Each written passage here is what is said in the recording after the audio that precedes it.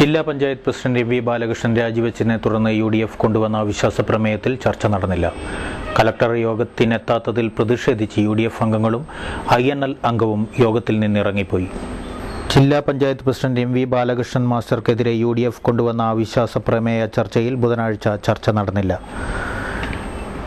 ചൊവ്വാഴ്ച വൈകിട്ട് ബാലകൃഷ്ണൻ മാസ്റ്റർ സ്ഥാനം രാജിവെച്ചിരുന്നു. പ്രസിഡന്റ് രാജിവെച്ചതിനാൽ ഇന്നത്തെ യോഗം റദ്ദാക്കിയതായി കലക്ടറുടെ കുറിപ്പ് ജില്ലാ പഞ്ചായത്ത് സെക്രട്ടറി വായിക്കുകയായിരുന്നു.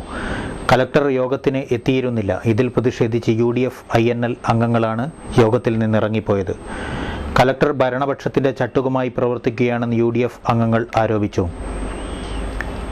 ബാലകൃഷ്ണൻ മാസ്റ്റർ രാജിവെച്ചുകൊണ്ടുള്ള കത്ത് സെക്രട്ടറി യോഗത്തിൽ വായിക്കുകയും ചെയ്തു.